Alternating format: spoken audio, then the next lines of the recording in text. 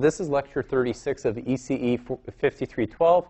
And so in this lecture, we're just going to sort of briefly talk about frequencies, frequency non-selective slow fading channels. We'll then jump into the beautiful area of diversity. Okay? And then we'll conclude that, this lecture. So in lecture 35, we talked about different types of fading channels. We talked about Rayleigh fading channels, Ricean fading channels, frequency selective fading channels, non, the frequency non-selective fading channels. What we're going to talk about is this particular type, and we're going to look at the performance analysis of it.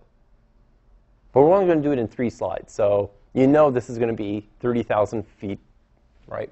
So what happens is, let's, first of all, take a low-hanging fruit type of modulation scheme. Let's take FSK, okay? Something nice, easy, there are no Q functions involved, right? It's going to be good times. So what happens is let's mathematically model the received signal as we have some attenuation factor. It's constant. Let's say there's no time variation whatsoever. Um, let's say there's also an exponential term that induces some sort of phase rotation. Constant. Don't worry about it. Isn't, isn't this like almost impossible, right? Like constant attenuation, constant phase rotation. Like how many of us encounter problems in real life about that? Bless you. And then we multiply the attenuation and the phase rotation on the low pass transmitted signal, SL of t, or in this case, L. No, no, should be t. Bad me. Typo. And we add complex white Gaussian noise to this mix. Okay? So far, so good? So, what we want to do now is, let's say the phase changes, this is our assumption. The phase changes really slowly. Whenever you see that in a scientific paper, they say, assume to be constant, right? Oh, I love, I love technical papers. It's like, so what happens is, the reason why we do that is we don't worry about synchronization. Like, have you ever seen a paper that produce, proposes a new modulation scheme? Oh, by the way, we also took care of the synchronization at the same time. No, they always assume perfect synchronization. Or the synchronization paper doesn't talk about the modulation scheme that it supports or anything like that, right? Oh, there's also phase rotation stuff. So, so let's calculate the probability of error. And so if we use BPSK, which does have a Q function, or BFSK, which does not, actually it does. Okay, Oh, because in the last lecture we looked at um, kind of an approximation to that with the complex, uh, with the exponential re uh, representation. Okay, so we, we all agree that the bit error rate for BPSK and the bit error rate for BFSK are those guys, right? Q functions are off by a factor of 2 inside the argument. So what we want to do is how do we represent fading in this performance analysis? I think that's the burning question, the million dollar question is, like we, we did the performance evaluation techniques and derivations for AWGN. We kind of slightly looked at it when we had band limited channels, right? And when we looked at when we looked at modulation schemes, the exact representation, we had to assume that every signal was orthogonal to each other, right? That was the only way to get an exact uh, expression. What we're going to do, simple modulations we're going to see what is the impact of fading. How does this impact the performance? So Rayleigh fading, let's assume that these signals get attenuated by alpha. Okay? And so what happens when you take alpha squared? And alpha is Rayleigh. We get chi distributions. We get chi squared. Okay? With two degrees of freedom. And it turns out that gamma b is also chi-squared distributed such that, and so with chi b, I mean, sorry, sorry, gamma b, what it is, it is the signal-to-noise ratio, right? So what happens is we have this expression here, right? So we have gamma b um, bar, and that's the average signal-to-noise ratio. We have gamma b, which is the instantaneous signal-to-noise ratio. It is chi-squared distributed. We have this relationship here. So this is exponential, right? Exponential distribution? Yes. Is it the same? No, this is the probability of error calculation. No, the probability of gamma b. Probability. Gamma b. Oh, uh, oh, sorry. Yeah, sorry. You're right. So, so Yeah, so this is the actual PDF of, of, of this guy, yes. Thank you. Yeah, so, so basically the, uh, the, the PDF of gamma b is equal to 1 over the average of gamma b uh, e to the minus gamma b over average of gamma b, for gamma b being greater than equal to 0. Yep, yep, yep, yep. And then in order to get that gamma b average value, what you do is you take the alpha squared, which is the Rayleigh distribution, take the average of that, and then multiply by the power of, of per bit divided by the noise power spectral density. Oh yeah, like you know, just take my word for it, or look in the textbook. You know, everyone's like looking at me. Yeah, is that really true? Okay. So what happens is, given this, what happens now? So what happens is the bit error probabilities for these two modulation schemes, okay, um, is equal to the following. And what happens is I use the following integral in order to get, get to this.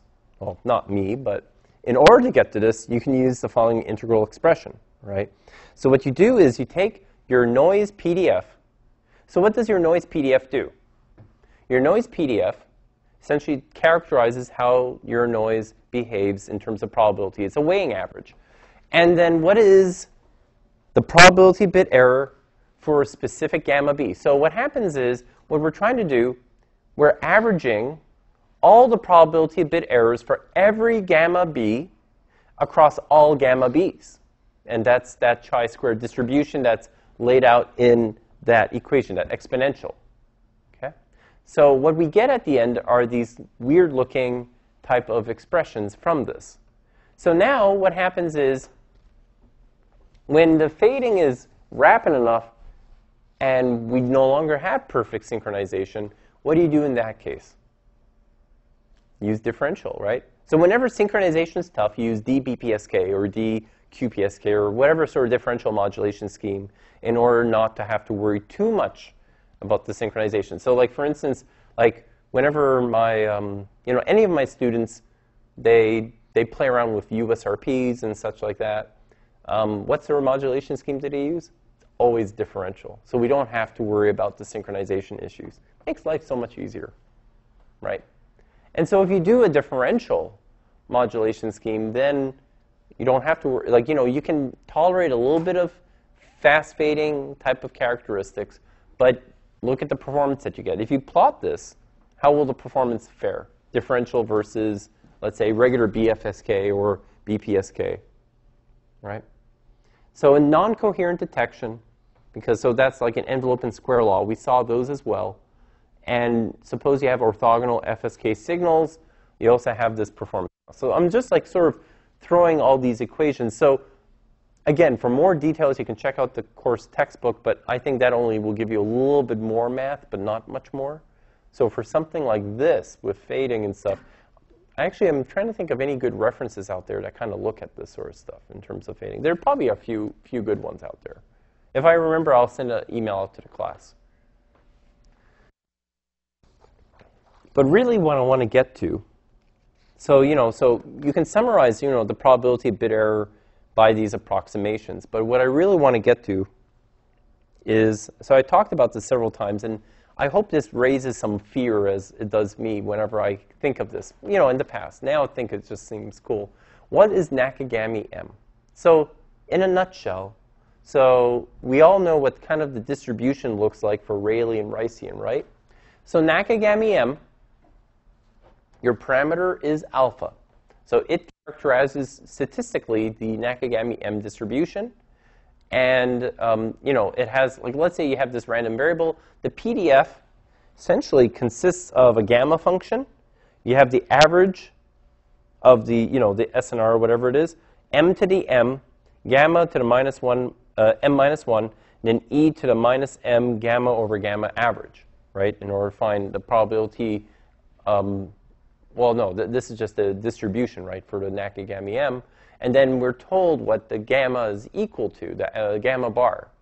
What happens is, and I forgot what parameter it is, if it's either m is equal to 0 or m equals 1, this degenerates into either Ricean or Rayleigh, depending on what parameter. So this guy is supposed to be a superset type of distribution for the other distributions.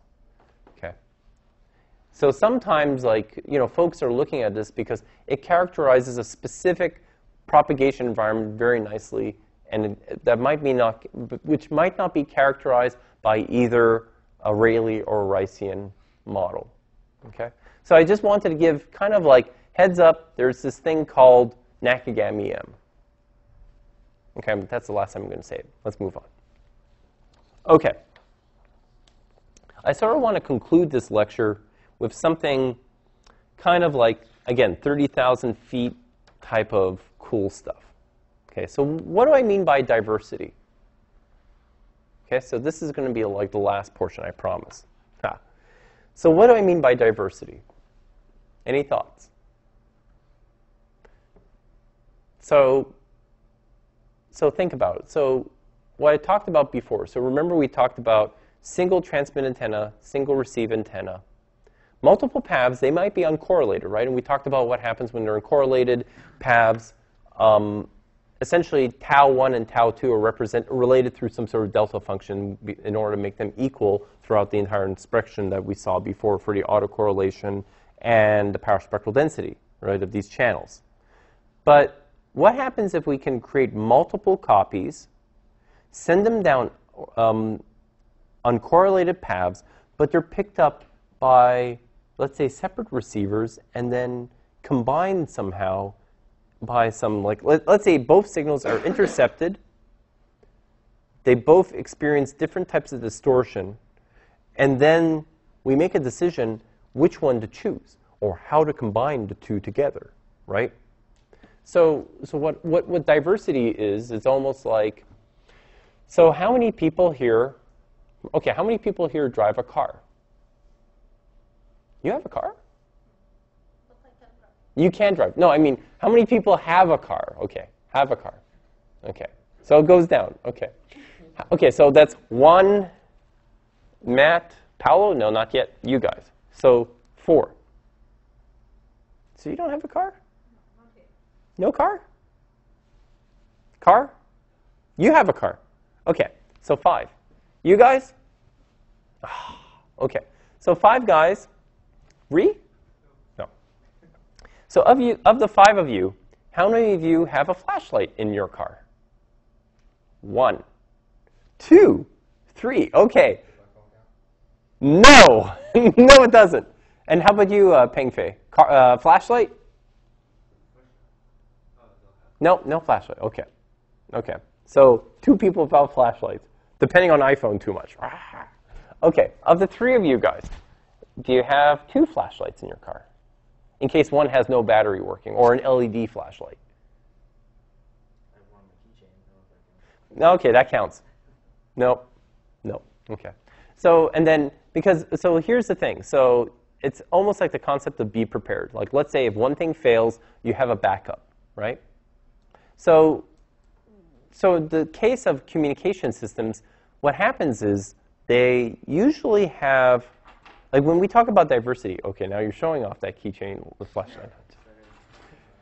Oh no way! If you're trying to, if you're trying to change a tire, that is useless. It's like, You put a rock on it, and then you change it okay, lecture over. I'm going. Oh no, no, no, no, no. Okay, okay. No, I, I, you know, maybe if you're trying to get attention of someone driving by, I need help. Do, do, do, do, do, do, do, You know, Morse code, but. Uh, Flare, does the flare count? Fine, I- I'll give that to you. But okay, so in a communication system, it's always great because we, we, you expect the unexpected. You don't know if there's going to be sudden fading, sudden distortion, sudden anything that can affect the signal. So what you want to do is you want to have some sort of mechanism where if one signal, your signal is being corrupted, you have a backup, right? So, like for instance, if you have replicas of your same signal going through space, being picked up by different receivers, and what happens is, let's say one of those copies is so so destroyed by deep fade in time, like bzzz. Like suppose I open a door and that changes the channel properties in this room ginormously. What happens is That's dead. I can never recover information from that signal. But I have several other copies that I can recover information from. Yay! What are ways of being diverse?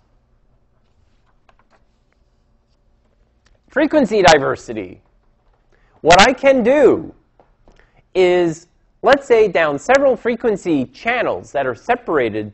Let's say um, I have one signal at F1. I have a copy of that signal at F2, another copy of that signal at F3, and let's say I have frequency selective fading. destroys the signal at F1, but F2 and F3 save the day, and I have absolutely no disruption to my information. There's a caveat. I'm going to bring it up in a few minutes, but I just want to sort of motivate how wonderful diversity is. Time diversity. Imagine if I repeat things multiple times. Hi, hi, hi, hi, hi, how are, are, are you, you, you, you? To do, to, to, do, day, day, day, day, day. What happens is, let's say people are talking, and most of my words are drowned out. You can still recover what I'm saying. It will be annoying as heck, but will, you will be able to recover what I'm saying. Antenna diversity. So if my ears are this far apart and I hear a lot of noise on this ear, this other ear will be able to pick up what I'm hearing from Matt or Paolo. Angle of arrival diversity. What I hear here might sound very different from here, here, and here. And then my favorite, underused, but really cool, polarization diversity. And so if you're in Professor Makarov's class, which is just across the hallway, he will tell you that you can design an antenna where you can send information polarized like this and polarized like this.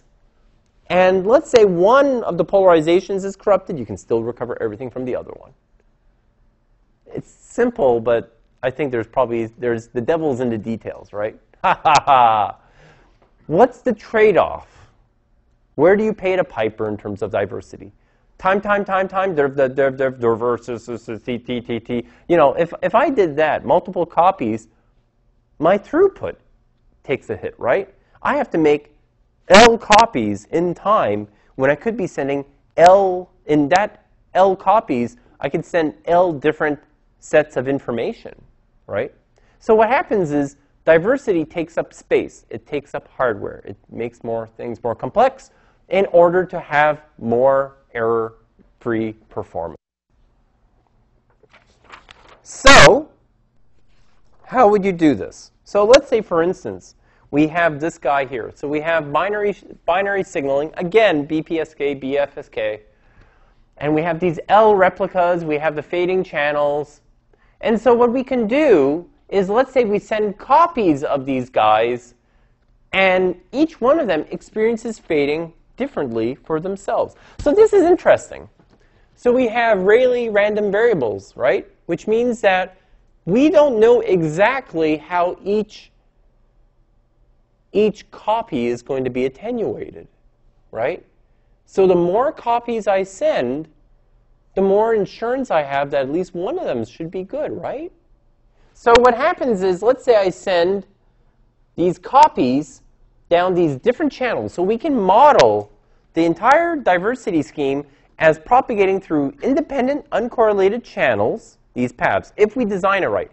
So rule of thumb with antenna diversity, if you have multiple antennas and you, at the transmitter and receiver, and you're doing something like MIMO, where you have to have um, totally uncorrelated paths, what's the rule of thumb? How many, like how far apart should the signals be? 10 lambda. That's usually a rule of thumb. If you want to do beam forming, which is highly correlated, you should be at most lambda away, and preferably like half a lambda or something like that. You know, so very different beast. But here, if you do in multiple antennas, 10 lambda. It's about it's it's like the rule of thumb. Oh, I got so burned when I did my master's thesis defense many many moons ago because I used the term rule of thumb too loosely, too many times. And then they say, find me a reference. So you have to find a book that says, oh yeah, mm, 10 lambda. Yes. You have that reference? Uh, no. Ah, okay. But, so, why would you send uh, replicas of your signal? Because let's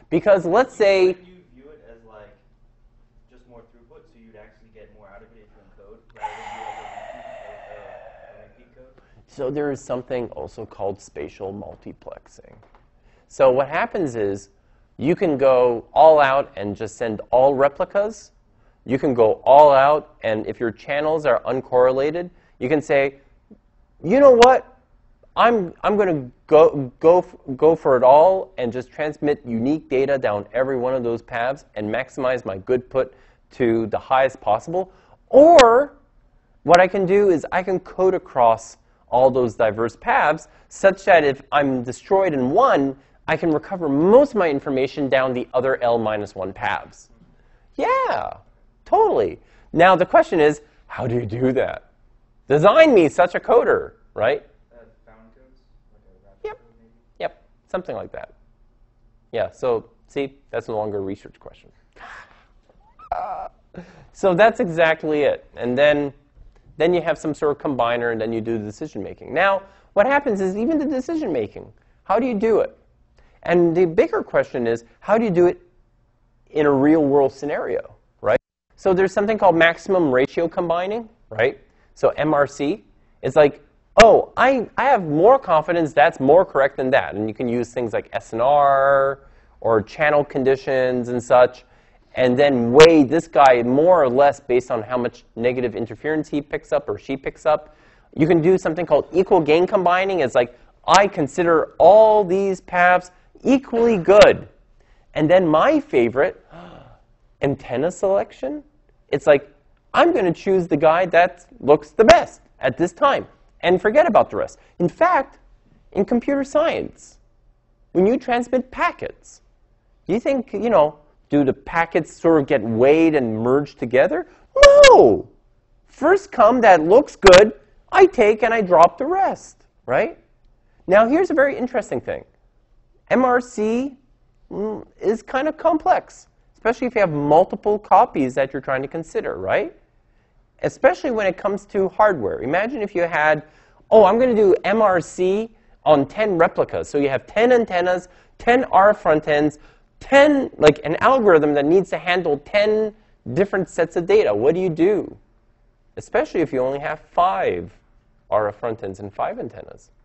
Or let's say 10 antennas, five RF front ends, and limited computational cap- capabilities. And? Antenna subset selection followed by MRC. So what you do is you discard the worst five. Don't hurt their feelings when you say that to them. And then what happens is the remaining five, you merge them together, right? So, and, and what happens is, depending on which antennas you want to select, they're to, you know, you can sort of test them all out, right? So, you probably have seen this before. Something called a match filter. I wonder what that is. Ha ha ha. So what happens is our model is such that, you know, at the receiver, we have this phase corrupted, attenuated received signal with complex Gaussian noise for every one of these symbols. And so what we want is we want to optimally demodulate them. And so what we do is if we know what that what we have is a bank of symbols. We have a bank of symbols that we know that the transmitter can send. And they're time reversed, so they're optimal. They're optimal. That's the match filter. We see which one yields the sort of highest peak SNR. And then at the same time, we have something called a combiner. And what we do is, let's assume that we don't do antenna subset selection. What it does is, like as I mentioned, you have selection, equal gain combining, maximal ratio combining, which is the optimal. What happens is, let's say you do this in parallel. So already we're talking about lots of hardware. Well, maybe not lots of hardware, but the complexity. So now you have multiple paths, lots of maximal ratio combiners. Now we need to combine all. It's, it gets messy, right? How do you make this? Like for instance, let's say two out of the three paths I think is this symbol, but this other path I think is another one. Oh, majority rule. Two out of two out of three say it's this, so we go with that, right? So whatever you do, don't choose something that has an even number of diversity paths. I'm just kidding. I'm just saying in this case, so you know, because otherwise, how do you get the tiebreaker?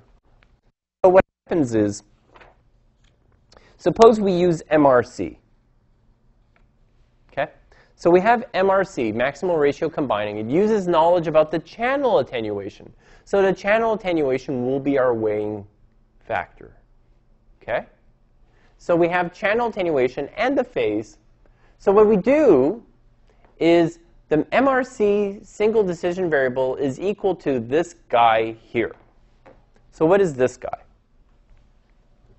So let's say this u is a real. So we know that this guy is now complex Gaussian squared. Well, actually, no, no, no, no, no. That's the attenuation. So this is chi squared.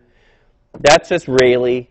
Oh, that noise. Oh, great. Energy of the signal. So it's all this uh, sort of messiness, right? And we have to take the real of that.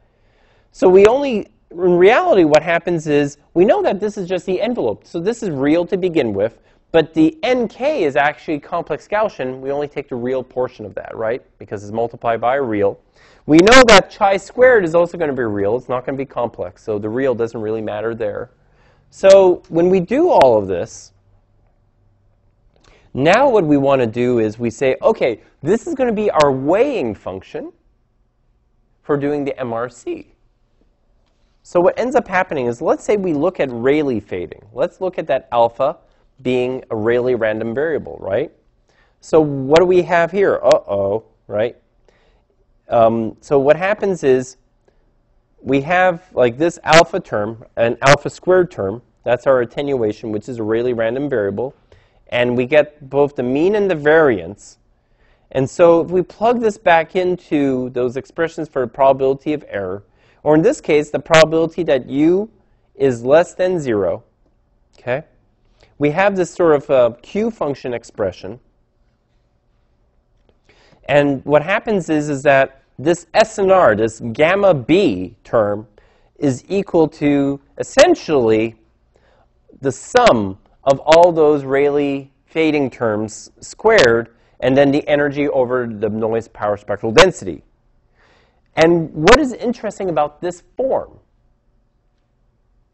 when I'm trying to take like expectations of this and such and bring it. Basically, whenever I have sum of IID random variables, it's kind of a cool idea to use characteristic functions, right? Or moment generating functions or whatever. Basically, that family where we say, oh yeah, it's IID. Let's take the expectation of the complex exponential of that random variable, which is a sum of IID random variables, what will happen? Oh, they're independent. We can break up that complex. We can break up that complex exponential into individual exponentials multiplied by each other. Oh, they're independent. Now the e is applied piecemeal on each one. We can individually characterize them, right? Remember probability? So what happens is we get this guy in return. How does so? So in fact, let's apply it here. So what happens is we have this mean term in everything. And again, we use this, this, this sort of statistical independence across all these gamma k's.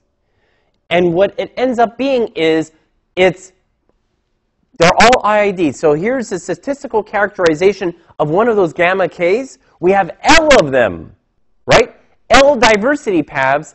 So what we get is essentially the characteristic function of one of those guys brought to the Lth power because there are L of them. And what is its PDF? What happens is, what is the PDF of the lone guy? Is him. So what we're trying to do essentially is we know what this guy is here. What is its noise distribution? Of this case, it's a binary modulation scheme, probably BFSK.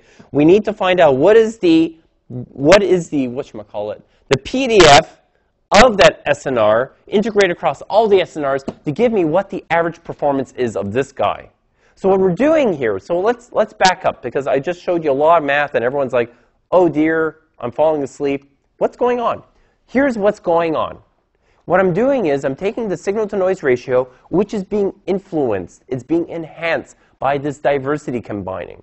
So what I'm doing is through this process, I'm enhancing my signal to noise ratio because there's more signal through these different diversity paths. There's a gain there, but the noise is the same, right? And maybe in a few places, also the attenuation might be different. What we're trying to do is we're trying to account for all these parameters across all these diversity paths. We make one signal, one single signal to noise ratio term. We now have an expression for probability of error, and we want to average across all those signal to noise ratio terms, which we now have a distribution for, which is basically the characteristic function of one of those PABs and its characteristic function brought to the Lth power. Cool, huh? So, what you end up getting if you go through this stuff, okay? So a lot of math is this sort of approximation at the end of the day. So this thing, oh, and you, whenever you see something like an n chooses k, you know, you know that there's something more happening behind the scenes there is. So, so I think again, like you know, I think the thing is, all of you should be aware that there's this concept called diversity, and what it does is it's supposed to enhance the performance of the system. If you use MRC, what you're essentially doing is you're trying to take multiple copies and trying to weigh how well or how poorly they're being reassembled at the receiver, and then you can characterize by weighing based on the channel characteristics what the performance is, see how well or how poorly they perform in order to get a common statistic. If you do E, EGC, equal gain combining, you don't have that sort of weighted thing. It's like this guy who's doing poorly, I'm considering him just as equally as him who's doing well. And then you have the selection, right? I take him because he's the best and forget about the rest. Hey, that rhymes. So, EFTS, exercise for the student, read the remainder of section 13.4-1. Okay, and so with that, uh, that concludes uh, tonight's lecture. And thank goodness, because I think everyone's like, oh, not enough caffeine.